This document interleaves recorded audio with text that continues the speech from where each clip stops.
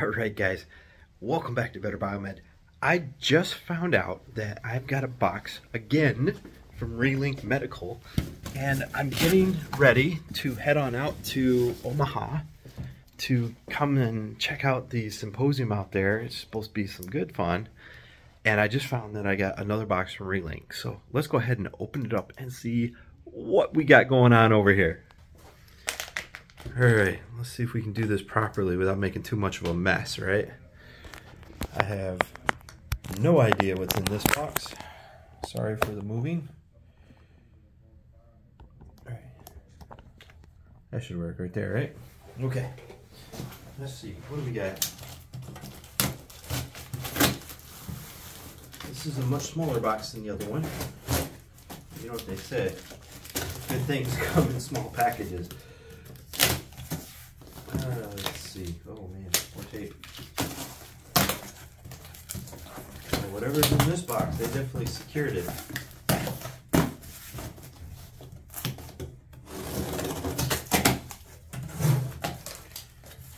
Oh my gosh, what a good surprise right before I head off to uh, the symposium. We're actually heading to the airport like right now. What is this? What I think it is? This looks like it looks like a module. What is this?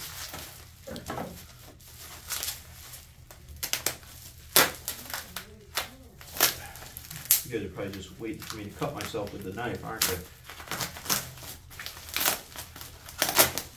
Wow, they definitely packed it well enough. All right. See, do we got? Okay. Wow, look at this. this is like something that I do to my family members at Christmas time. You know, play jokes on them. Let's see, what do we got? What do we got? I don't know what module it is. Okay, I feel the IUI ports. It's solid black. Oh my gosh. Okay, here it is. Wow, you guys, now they're just playing jokes on me. Okay. Oh, heck yeah. Okay, all right. And I'm glad they sent this particular one to me because one of the things I want to highlight is the problems that are going on with these and some of the things that uh, some of the things that we can do to prevent it. Very cool. All right, I got a module. Yes. And let's see what else we got. We got a cord of some sort. Don't know what that is.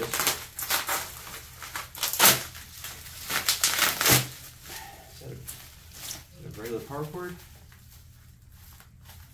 I honestly don't know.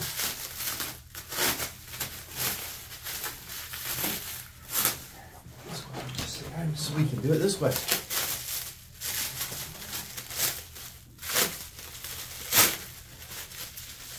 But I don't. That is not a power cord. Okay. Well, it's a good thing I'm still opening. Guys, this is this is unexpected. Oh, cool. Oh my gosh. All right. Guys, this is a glide scope camera. It's an intubation scope. Very cool. Can't wait to see what we can do with this. Very cool. Glide scope. Oh man, there's a bunch of stuff in this box. All right.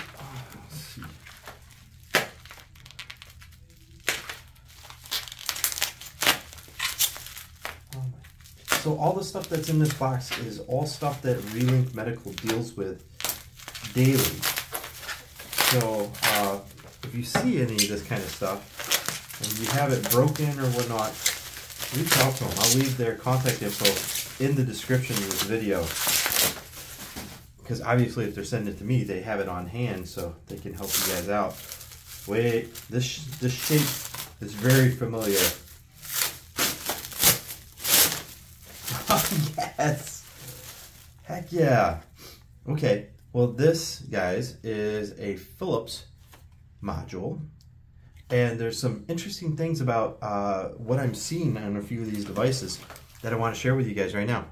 You see all these warranty void if removed stickers that medical equipment companies put on their devices? See, there's one right there. There's one right there. That's illegal. It's illegal. So uh, the Copyright Office uh, just last year, I think, they went forth and they said that uh, these stickers here are unconstitutional. And there we go. The, I see those more and more on medical devices. So the way the the Magnuson Moss Warranty Act goes is they say that if you have a failure, the people that are responsible for that warranty have to prove that the failure is completely related to that third party service or that third party part. So you can't just open this up and now the warranty is void. It doesn't work that way.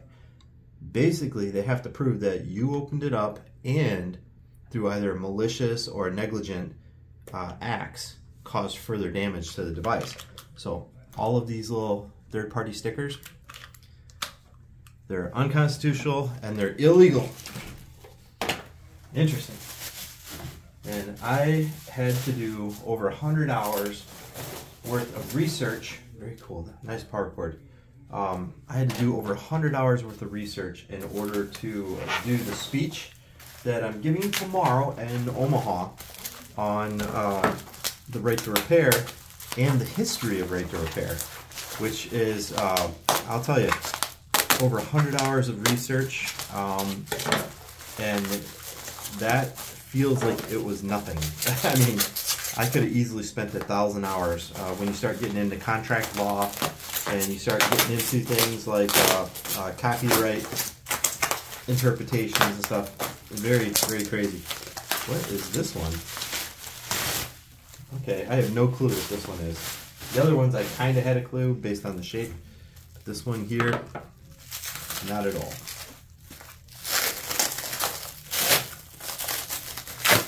All right. Okay.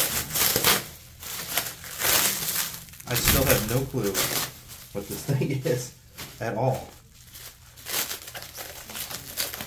What the heck is this?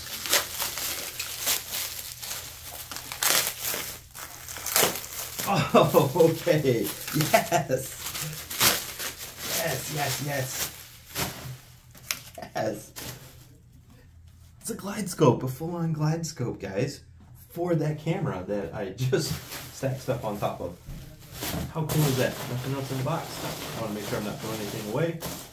Very cool. All right, so now that I've completely made a mess of my office, oh my gosh. So, here we go. Wow. All right. This is such an awesome surprise right before I head to the airport. So we've got a GlideScope with a GlideScope intubation camera. You know, they use this device when uh, they're checking for difficult airway. You know, there could be obstruction, swelling, all sorts of stuff. Um, plus, you want to make sure that your intubation tube, the the ENT tube, you want to make sure that the, it goes down and is properly placed around the larynx, which is why you use this little camera. Very cool. This is one of those technologies that's come a long way in the last 10, 20 years. Very cool, very excited. Philips module. This is because I got that Philips uh, monitor that came with the last box. This means that now I can test it as a system and there are a lot of little intricacies on this. We're gonna tear this guy apart. It's gonna be so cool. And guys, I have an Alaris pump this one here is clearly got a few issues, but that's okay because that's one of the things I want to highlight to you guys. Um, more importantly, it's got all the ports and stuff necessary so that we can hook it up to the brain, which is, was in the other box that I received from these guys. And uh, we are going to go ahead and uh, hook this guy up and see what its real problems are. And uh, that's going to be a fun set of videos. Anyway, guys, thank you very much for watching thank you so much for the guys over at Relink Medical. I'm going to leave their information in the description below. Go ahead and check them out. And they do auction sales. They they do used medical equipment. More importantly, they buy used medical equipment. They travel around the country and they pick up in mass all your used medical equipment at various facilities. It's a cool program. It's an unusual biomed job, and I like highlighting it because it's one of those careers that can go in multiple directions. And obviously, there is a huge market for used medical equipment, and uh, you're seeing just a piece of it right here. So, anyway, thanks for watching, guys.